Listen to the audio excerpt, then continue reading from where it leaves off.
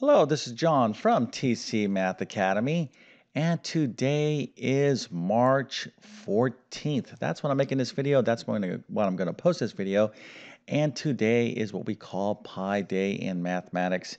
And a lot of you are out there saying, Are you kidding me? People actually celebrate this number? Well, I think you should be celebrating celebrating this number as well. It is extremely important, not only in mathematics, but uh, the reason why you're able to watch this video and use the internet and all this technology is because of math and science. And when it comes to uh, numbers in mathematics and science, probably nothing is more important than this number here, which of course is pi.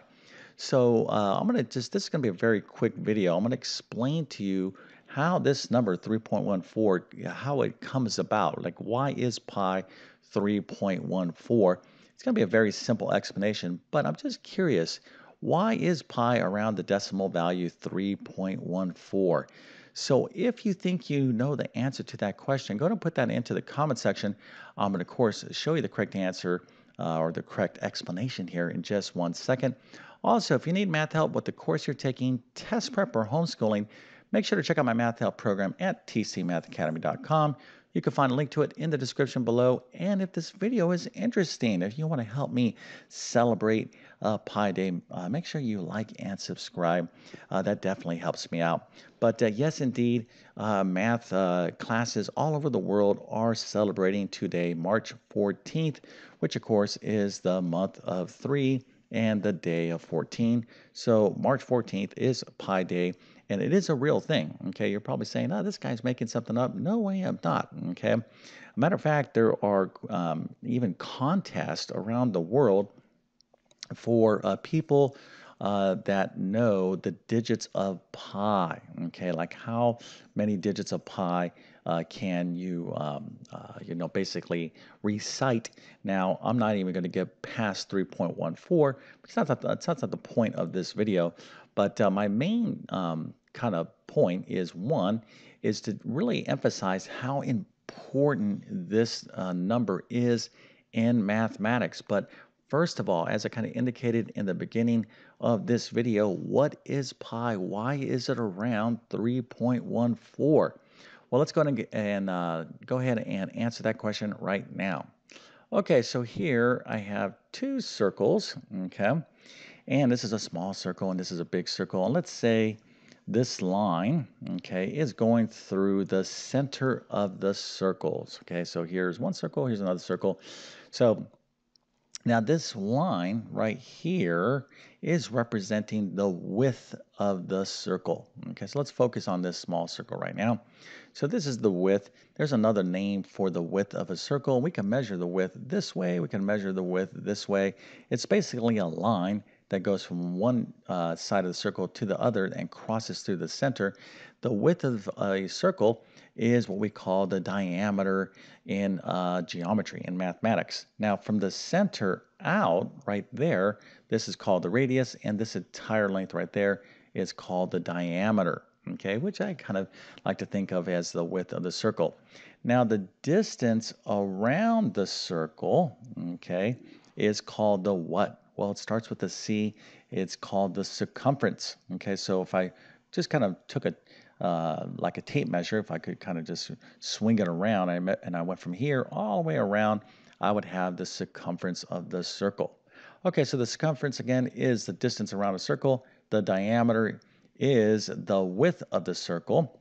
So if you take a circle and you take its circumference, like this little circle here, we measure around, and we divide it by the diameter, well, what number do you think we're going to get? Okay, the circumference divided by the number. Well, you're going to get this decimal value. It's going to be 3.14. And then this thing is going to go on and on and on. And it's going to go on to infinity. Okay. The, you'll still get more digits, but the digits are not going to kind of repeat and they're not going to terminate. In other words, this thing goes on and on and on. And if you want to know the entire value of pi, well, you're going to have to spend in, uh, infinity to uh, calculate it. And of course, you and I don't have that time, so we just kind of estimated around 3.14. There's also a um, and a fractional approximation of pi, which is 22 sevenths. Okay, so this uh, uh, number, because it goes on infinitely, what we do, we just assign a variable to it, a symbol that represents all these infinite digits, and that is what pi is. It represents this number. Okay, and this type of numbers, uh, this type of number in mathematics is what we call an irrational number. It's basically a non-terminating, a non-repeating decimal. Okay, so it is important for you to know that pi um, is an irrational number. But when we were actually working with pi, uh, you can use various approximations. Again, 3.14 is the minimum kind of decimal uh, approximation, but the more decimal places of pi you use, the more accurate your answer uh, is going to be anytime you're dealing with something with pi. And again, if you want to use a fractional basic kind of estimation of pi, you can use the fraction 22 over 7. Okay, so here I have my big circle. And of course, this little circle right here, I told you the circumference uh, divided by the diameter is uh, about that number. And you go to any circle, a big circle, a small circle, doesn't make a difference. If I took this circle right here and I got the circumference and I divided uh, that by its diameter, I would still get the same number. Okay, so you get that same uh, ratio no matter what size the circle. So pi is tremendously important. Like what kind of problems do we use pi with?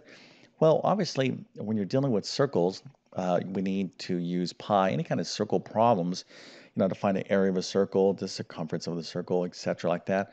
But pi, as you uh, progress into more advanced, math, advanced mathematics, especially like trigonometry, it is like everywhere and becomes more and more and more important. Okay, so this value pi is critical. Okay, and again, uh, for those of you that uh, appreciate technology, your cell phone, your smartphone, the internet, you know, uh, cars, and all that kind of stuff, modern technology, there's science behind, it, there's engineering behind that.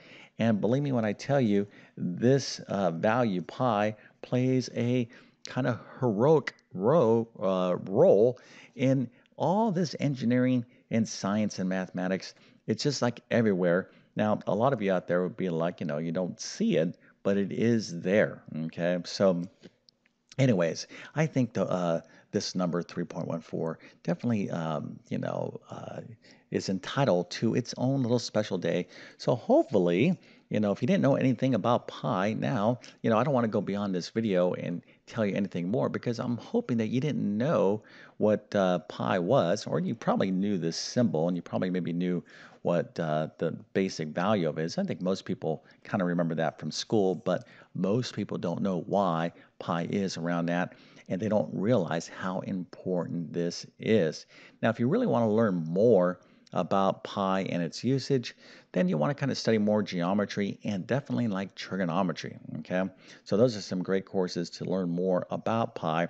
But, uh, anyways, with that being said, hopefully you found this little video interesting and exciting, and hopefully it motivated you to learn more mathematics. That's my goal when I make these uh, YouTube videos. But if that's the case, don't forget to like and subscribe. And with that being said, I definitely wish you all the best in your mathematics adventures. Thank you for your time and have a great day.